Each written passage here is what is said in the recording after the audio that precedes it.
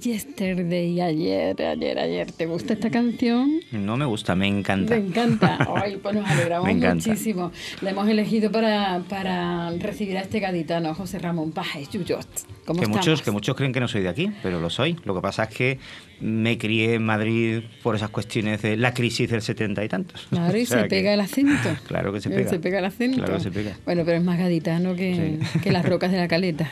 ¿eh? Hombre, llevo ya 50 años siendo, o sea que no sé yo. Y de esa calle de San Francisco, esa plaza de San Francisco, ese convento, ¿no? Bueno, yo fui de los que nacieron en casa. Y yo también. nací en mi propia casa. Entonces estoy muy orgulloso porque mucha gente, claro, la gente joven dice. Del hospital. Pensando, pensando, sería pobre. El, pobre no tendría ni siquiera seguridad social cuando nació en su casa, ¿no? No, pero es que en aquella época. En aquella época se nacía en casa. Se estilaba eso, ¿no? Era verdad. Claro, cuando yo le pregunto ahora, ¿en dónde te criaste? Yo me refiero a la calle, a la casa. En el hospital San Juan de, en el hospital, en la residencia en Zamacola. Y digo, no, hijo, no, en la calle. En la calle bueno, pues así. Señoras y señores, que, quien no conoce a José Ramón Pajello, yo fue director de la primera televisión local de Cádiz, Canal Cádiz, aquella nostálgica que hizo tantísimas cosas, ¿no?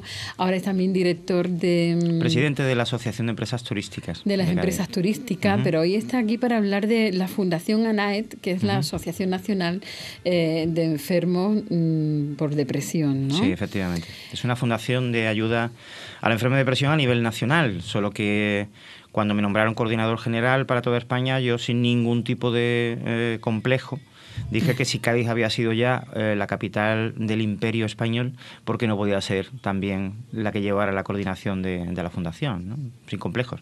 Porque ahora mismo con Facebook, con Twitter, con, el WhatsApp, con correos electrónicos, con el Skype, con, mil cosas, se puede estar en contacto con todos los equipos de trabajo sin necesidad de moverte de tu despacho. ¿no? A mí me da escalofrío decir estos datos, ¿no? Eh, mientras eh, la eh, la española se sitúa, la tasa española se sitúa en 2010 en 6,85 suicidios. Eh, por, cada 100.000 habitantes, escalofriante.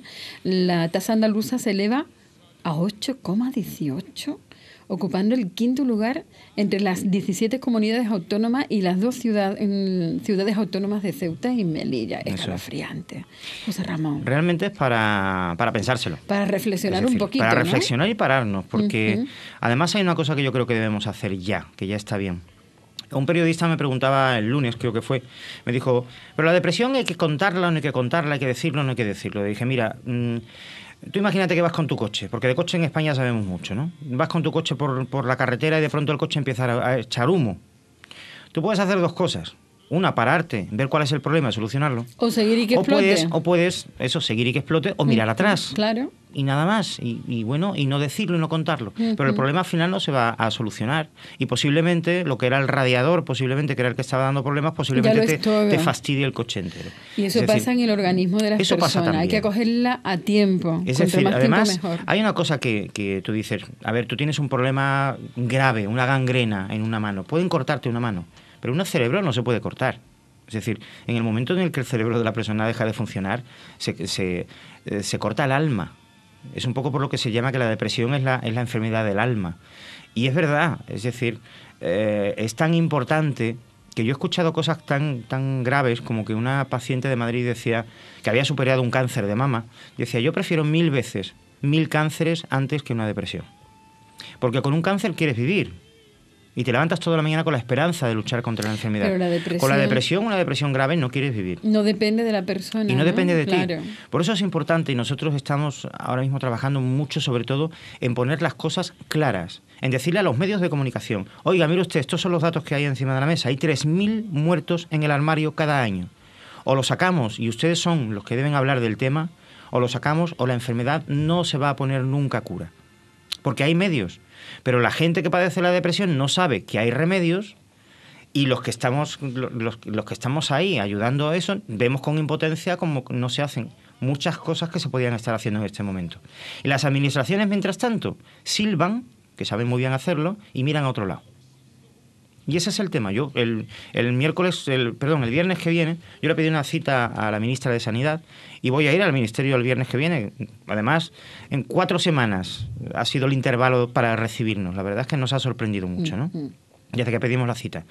Y, les voy a contar lo mismo, es decir, eh, mire usted, ministra, es que a usted curar depresión le va a salir mucho más barato que mantener un enfermo durante años y años y años en tratamiento con pastillas, sin ir a trabajar, sin poder, sin poder hacer. Es decir, dejar a una persona con depresión sin ayuda eh, es matarla en vida, de alguna manera. Y las familias en esto tienen que implicarse mucho, porque las familias son más importantes que los psiquiatras y que los psicólogos mucho más importante.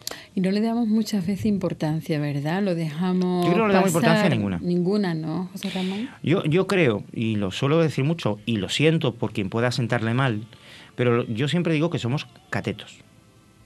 En la salud de nuestro cerebro somos muy catetos. Estamos como en los años 50 o 40 del siglo pasado en salud dental antes nadie se cuidaba de los dientes, antes nadie iba al dentista y te podías pasar una semana con dolor de muelas metido en una cama intentando que se te pasara aquello. Y nadie iba al dentista. Ahora hay campañas de prevención, la gente se cuida los dientes, hay higiene mental, dental, los niños llevan brackets todos para llevarlos perfectos, te los blanqueas, te los cuidas y se invierte dinero y tiempo en, en la salud dental y así nos va de bien. Pues ahora habría que empezar a pensar en la salud del alma, ¿no? en la salud del cerebro, porque es lo que a partir de ahí te va a permitir todo lo demás. Y la que te mina el cuerpo entero. Claro, si no eh, además es, que, es que dinamita todo, o sea, el corazón y el cerebro son los dos órganos importantes sin corazón no hacemos nada, pero sin cerebro tampoco, ¿no? ¿Para qué quieres una persona como, por ejemplo, la, los pobres, la pobre gente que padece Alzheimer o padecen enfermedades graves que han perdido el recuerdo y han perdido la, situación de su vida, ¿no? ¿Para qué quieren un cuerpo funcionando si el cerebro no le funciona, ¿no? Qué misterio más grande, por otra parte, el cerebro, porque de, el cerebro es... de enfermedades del cerebro hay muy poco que se haya alcanzado a saber a, través de la ciencia, ¿no? Los científicos y Queda los muchísimo por trabajar, queda muchísimo por estudiar, pero también hay una cosa que es verdad, y es que ahora mismo estamos en salud mental igual que en los dentistas. Antes los dentistas, cuando ibas a un dentista, nada más que ibas a que te quitaran las piezas. Cuando te dolía. Y ahora puedes mantener una dentadura perfecta hasta el día que te mueras. Pues lo mismo ocurre con la, con la depresión. Es decir, hay soluciones. La mayoría de las depresiones se pueden curar porque son problemas que lo que necesitas es alguien que te ayude desde fuera, imparcialmente, a ponerte en tu sitio. Porque en muchas ocasiones la depresión la tienes tú, pero la has provocado tú mismo por tu manera de ser, tu forma de pensar o tu forma de actuar con los demás. ¿Y cómo se le hace ver a esa persona que es ella misma la que se está provocando el estar mal? Pues eh, a base de muchas horas de trabajo. A base de, en este tiempo que todo el mundo vamos corriendo. A base de muchas técnicas psicológicas que te hacen ver, ver, ayudarte. En muchas ocasiones la gente no se da cuenta de lo desordenada que tiene en su casa. Hasta que tú no haces que suba arriba la lámpara y desde la lámpara mire la, casa entera y diga, oye, pues es verdad que aquel hueco está vacío, pues este mueble lo puedo poner allí y lo puedo, mm, puede servirme mejor. Y esto otro puedo ponerlo en este otro sitio, puedo, es decir, ver las cosas con perspectiva, ¿no? Nosotros lo que hacemos, bueno, nosotros, mis equipos, yo no, pues yo me dedico, sabes, a la gerencia, administración y todo lo demás, pero no jamás a este mundo. Pero los psicólogos y los psiquiatras lo que se dedican es a ayudarnos a ver las cosas con perspectiva y ver que a veces necesitamos una orientación y lo hace de una forma imparcial. Y los psicólogos y los psiquiatras te van a decir, porque son médicos o porque son especialistas, te van a decir la verdad. No te van a mentir porque no tienen ningún interés en mentirte. Y te van a decir dónde te estás equivocando y dónde no. Y eso te va a ayudar en muchas ocasiones para clarificar tu vida. Pero José Ramón, eh, para esas personas que nos estén escuchando, eh, hablamos de depresión, ¿no? Pero nadie quiere que la persona que tú quieres tenga depresión, nadie quiere que esa persona sufra. ¿Cuáles son los primeros síntomas para que nos despierte la atención en esa persona de que algo está ocurriendo y grave en ella, para empezar a prevenir lo más pronto posible? Pues es curioso y además me alegro de esta pregunta porque todo el mundo piensa que es la tristeza. Pero hay una cosa que se llama distimia, que es una especie de, de depresión flojita, llamémoslo así para que lo entendamos, que muchísima gente la padece. Pero ¿cómo la notamos los, demás? Sí, y uno de los síntomas que puede presentar la distimia, que es una depresión pequeña que después se lleva una mayor, eh, es precisamente, por ejemplo, el mal humor. Hay gente que se levanta de mal humor, que parece que está peleada con la vida y con todo el mundo. Y esa persona está deprimida. Y su forma de combatirlo es con mal humor. Simplemente con mal humor. Y no, eh, no con tristeza. O sea, no se queda abatido, pero sí se está revolviendo. En el fondo, su cerebro le está diciendo, o su forma de ser está diciendo necesito ayuda, pero no sé cómo pedirla. Y mucha gente malhumorada, desde por la mañana hasta por la noche, es que en realidad tienen una depresión oculta. ¿Y cómo podríamos abordar y hablarle a esa persona para poco a poco? Pues eh, tú imagínate que tienes una persona que tú crees, intuyes que tiene, que tiene diabetes porque está bebiendo constantemente, está haciendo pis constantemente, porque notas que en las piernas no le circula bien la sangre, porque notas que tiene, que ¿Qué haces? Inmediatamente le dices, ve al médico o vamos al médico. O le buscas un médico. Pero es distinto. Porque aquí es el mal humor, yo estoy es que la depresión, es que la depresión y la salud mental es una enfermedad. Porque casi nadie quiere ir al psicólogo ni al psiquiatra. Pero si es que, si es, que nos da, si es que nos da vergüenza. si es que la depresión y las almorranas es de algo que nadie habla. es verdad, es que no, se habla. Porque lo primero te dicen, yo no estoy loco. No se habla, no pero, significa que esté loco. Pero es curioso porque hay muchas cosas. algo está cuanto fallando. más, cuanto más me adentro en el mundo de la depresión, más, eh, como dicen los jóvenes hoy en día, flipo. Es decir, me sorprendo muchísimo porque, mm, por ejemplo, si tú miras las estadísticas que tienes en tu mano, verás que de cada 100 personas que se suicidan, 70 o 78 creo que son, son hombres y 22 mujeres. ¿Sabes por qué? No es porque las mujeres sean más fuertes, es porque las mujeres lo cuentan más. Se desahogan. Las mujeres se desahogan y las mujeres buscan ayuda. Y los hombres buscan, son más suyos. Y buscan soluciones a los problemas. Los hombres nos han inculcado en esta sociedad mm, tan imperfecta o tan perfecta, nos han inculcado que somos machitos ibéricos. Y un machito ibérico ni llora, ni cuenta problemas, ni puede... O sea, no, eso era antes. Eso no es antes. Eso no era antes. Sigue habiendo personas que piensan así, ¿no? Tú tienes papeles en la mano que hablan de que hay 78 personas de cada 100 que son hombres que se suicidan sin decir ni pío. Y sabes cosas curiosas. Por ejemplo, ahora que se ve, menos mal que ya se está hablando del tema, por lo menos que se está hablando del tema. Ahora con el tema de los desahucios, de la crisis y tal, eh, se habla de los suicidios que se están produciendo. Desgraciadamente. Y es verdad, desgraciadamente. Pues esos suicidios, si te das cuenta, la gente se tira por la ventana. Muy curioso. Eso es una especie de, último mensaje de la gente que, que se mata diciéndole a la sociedad, estoy muy enfadada con vosotros. Desesperación. Porque me habéis desesperado, me habéis fallado y no me habéis dejado vivir. Y es un último mensaje. Sin embargo, y es muy curioso, de los 78 de cada 100 que se mueren, que son hombres, utilizan casi, casi siempre utilizan el ahorcamiento. Fíjate qué curioso y qué desagradable. ¿Y, sabes por qué? Porque es un mensaje también que se lanza a las familias diciéndole me habéis fallado. No estabais ahí. Y la familia dirá, ¿qué culpa tengo yo si no me lo dijiste? Es verdad. Por eso, a los que nos estén escuchando que puedan creer que tienen depresión o que tienen algún tipo de, anomalía, la que sea, primero que lo tomen con normalidad. Hay 6 millones de personas que lo padecen en este país. Pero 6 millones. José Ramón, es muy fácil decir tómenlo con normalidad a esa persona que lo está pasando. Indudablemente, eh, indudablemente la que lo está pasando es difícil que lo vea así. Pero a base de escucharme a mí y a otros 20.000 más, seguramente empezarán a verlo de otra manera distinta. Cuando vean que otra gente también lo toma de manera distinta, pues empezaré a ver distinto. Esto es como la primera persona que utilizó una minifalda en Cádiz.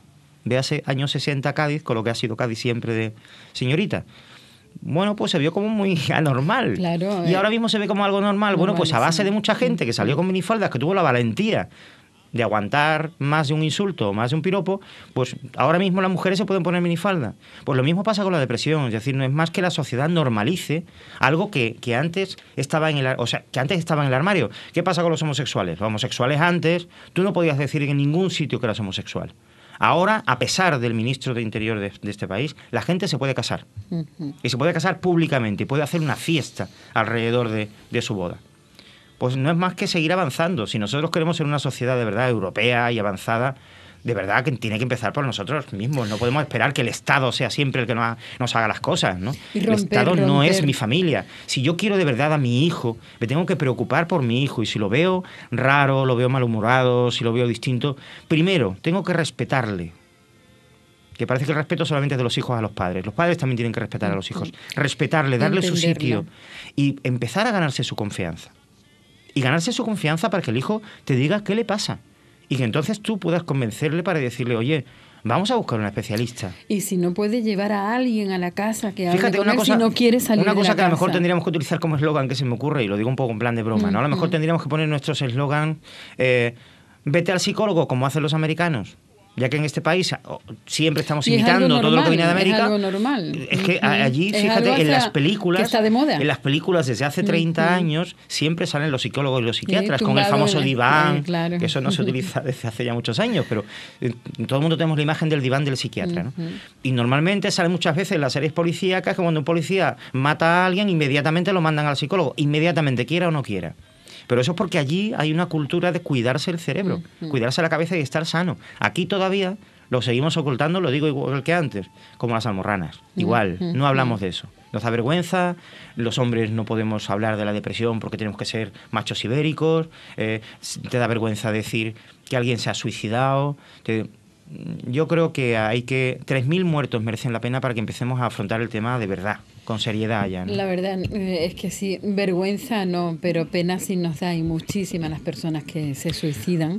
Eh, se pierden tantas cosas, tanto podría haber cambiado, se hubieran esperado, se hubieran hablado ¿no? con las personas eh, correspondientes, ¿no? Y cuánto se pierden al dar. ¿Tú no te has planteado, no sé, no sé si tú conoces a alguien que se haya suicidado, ¿no? Yo he tenido la, bueno, la experiencia de vivir varios casos de esos, importantes en mi vida además. Y siempre me he preguntado, ¿qué puedo hacer, no? O sea, perdón, ¿qué podía haber hecho?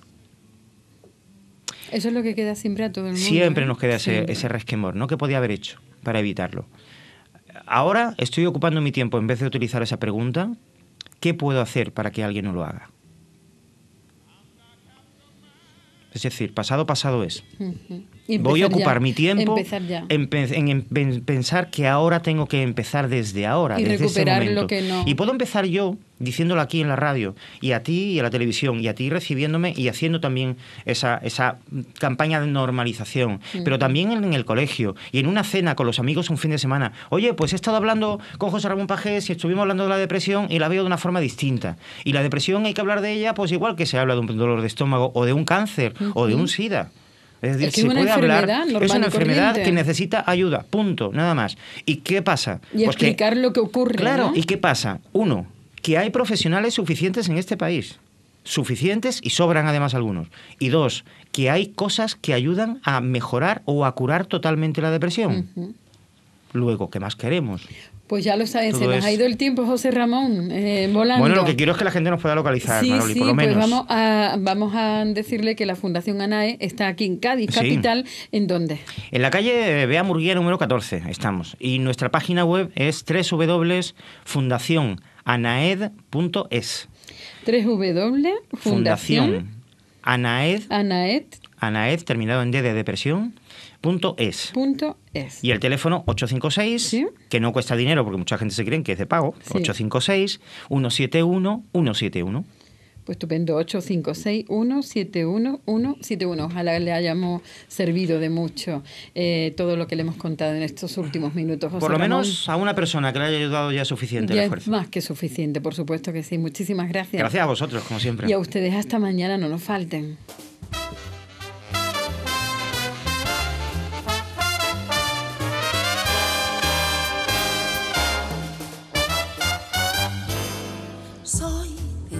Clase de mujer que se te cuela entre los pies.